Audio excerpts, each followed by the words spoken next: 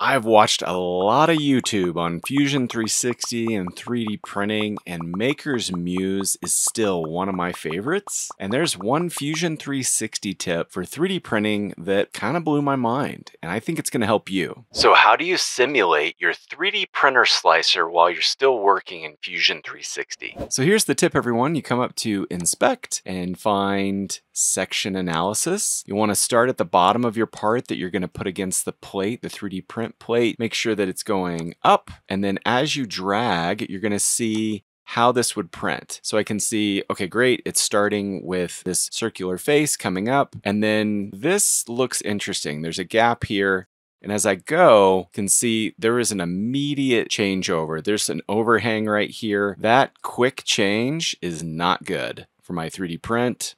I'm gonna need some supports in this area. So how can this help me design better in Fusion 360? So I had this challenge. I needed to design a cap that would go on our trampoline at home and allow me to zip tie the net and hold it up to the very top. It keeps sliding down and ripping. And so I needed a custom cap or clamp to go to the very top and designed around this post. So this is the first iteration that I came up with, and I wanted the right design that would be easy to 3D print without any additional supports and would print well. So when I turn on my section analysis, as we saw before, you can see that there's some overhangs. So my goal is to introduce a gradual change, and that's where chamfers or fillets are your friend. Adding the chamfers here and now investigating with the section analysis, I can see that it's gonna gradually print this, right? So let's flip this around and come up.